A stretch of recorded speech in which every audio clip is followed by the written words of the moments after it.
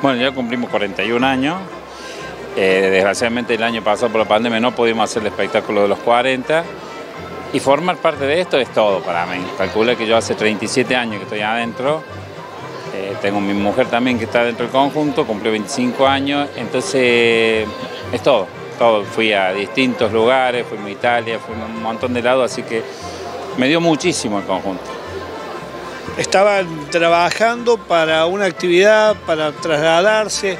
Esto lo hacen siempre cuando necesitan de fondos, necesitan estar presentes en alguna actividad. Sí, sí, sí, porque bueno, ahora viste con, con la situación no podemos exigirle a los distintos lugares que los paguen. Así que bueno, ahora hicimos empanada con el grupo, lo fue muy bien. Para hacer un viaje a Mar del Plata entre 20 días, hacemos, nos vamos a Mar del Plata al Fogolar Friulano de allá de Mar del Plata. ¿Hay posibilidad que se arme o se esté trabajando para hacer un espectáculo por ese aniversario?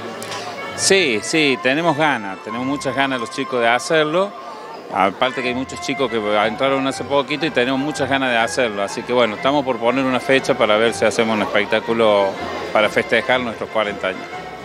¿Actualmente cuántos son los integrantes? Y ahora estamos arriba de 25 integrantes. Hay muchos chicos jóvenes que entraron ahora y bueno, hay que ir pronto a ver si podemos incorporar más gente porque bueno, ya los que estamos grandes ya tenemos que ir como dejando.